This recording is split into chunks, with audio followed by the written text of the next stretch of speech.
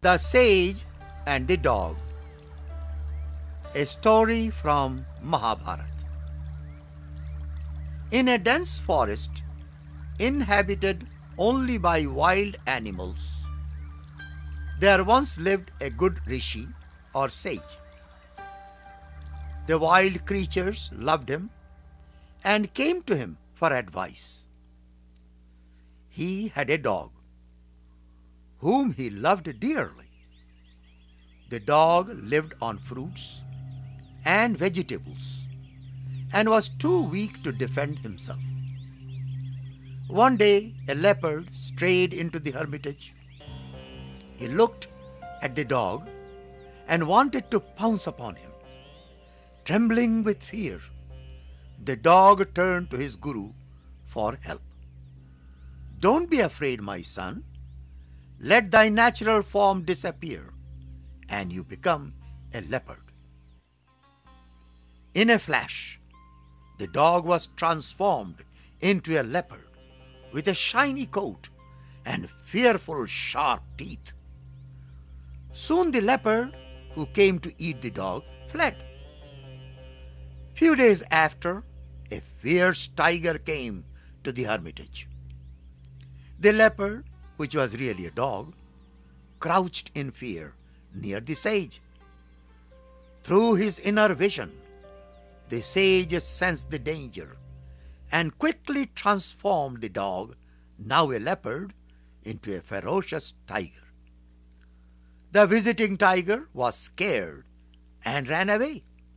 This time, the transformed tiger became more daring and began to kill other animals. He left his austere diet and began to subsist on other animals. One day, after a big meal, he was sleeping in the yard of the hermitage when a rogue elephant walked into the hermitage. The sage was watching. He instantly transformed the dog, now a tiger, into an elephant. The rogue elephant was not ready for such a change. He took to his heels, and the sage's elephant was happy to see this happen. Delighted with his new form, the sage's elephant wandered off to a nearby lake and enjoyed the cool, refreshing water. Not many days after, a terrible looking prehistoric animal arrived. He was strong, ferocious, and frightening. Once again, by the grace of the sage, the elephant transformed into the prehistoric animal. Except he was bigger and more fierce. He was strongest of all animals on earth and need not be afraid of anyone.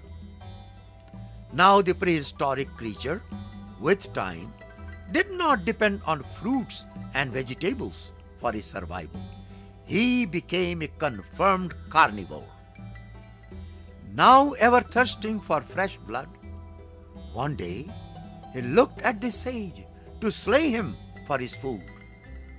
When the sage divined his intention, he was mad. You dog! shouted the sage. It was to me you survived this far, and now you want to do me injury? He immediately used his yogic power. Be thou a dog again. As before, the dog rested at the feet of his guru and became cheerless. Go away, sinful creature, scolded the sage. No one should be placed in a position for which he is not suited. You are certainly fit only to be a dog.